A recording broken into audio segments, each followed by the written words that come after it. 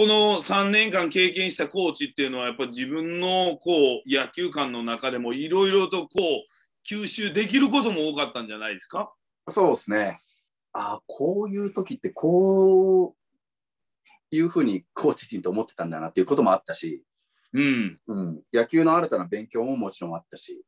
なんかまあうんいろいろむ難しいことばっかりでしたね。改めてうん野球の難しさを思い知りましたね。一つの何かこう失敗だったです。まあ、ほとんど失敗ですけど、失敗に対して、うん。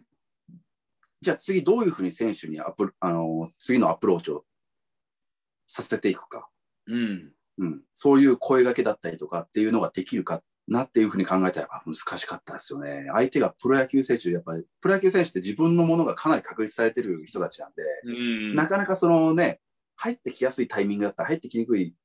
ね、いろいろいろんなタイミングがあり、自分の感覚があり、その中でもちゃんとこうスッと落とし込めるような言い方だったり、言う内容だったりとかっていうのをこう考えて、そう、だから人によって同じことでも、人によっては違うことを言わ、違うように言わないといけなかったりとか、うん、だからそこまで考えると、何も言えねえ状態になりかけましたけど。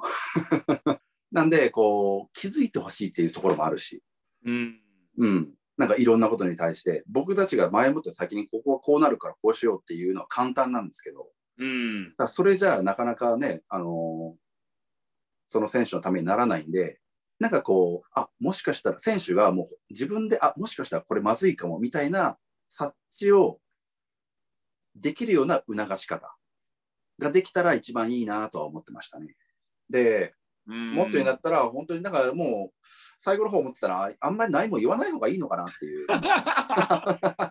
思ったんですよ。じゃあ、コーチの意味なさへんしな。そ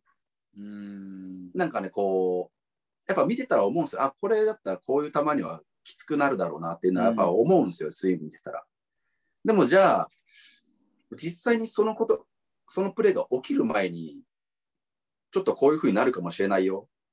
ちょっとスイングじゃあ変えていこうって言っても、やっぱ本人はその実体験してないから、うん、確かになんか。ピピンとこないですよね。だ打って本人は一。番いいと思ってそのスイングしてるわけなんで。確かに。そう。なんで、僕がそう感じたとしても、やっぱ本人はあんまり納得してない可能性もあって、うん。てかそこは難しいですよね。だから、実際何も言わずに、本当にもうそうなるまで待って、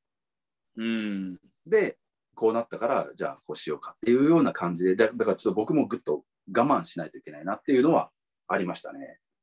これ、1軍のコーチと2軍のコーチ、両方経験してきたわけじゃないですか。はい。やっぱりここも、声のかけ方だったり、違い、難しさあったでしょ。ありました。まあ、でも2軍の時は外野守備走塁やってたんああ、なるほで、ど。バッティングのあれはやってなかったんですけど、おーでもまあ、違いますよ、やっぱり。うん。一軍はやっぱりもうある程度技術的なところとかが完成されてる人たちが多いんで、あとはちょっとこう、まあ、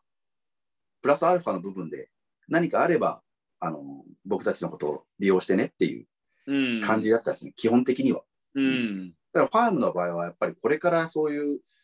確固たる自分の理念だったり技術だったりそういうものを作り上げていかないといけない子たちが大半なんでやっぱその中では今言ったようなこう言いにくいことを言わないといけない瞬間だったりでそそのバッティングはちょっと不具合が起きそうだよっていうようなようなことも言わないといけなかったりでプラスやっぱ、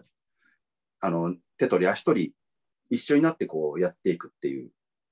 取り組んでいくっていうのも大事になってくるのがファームですね。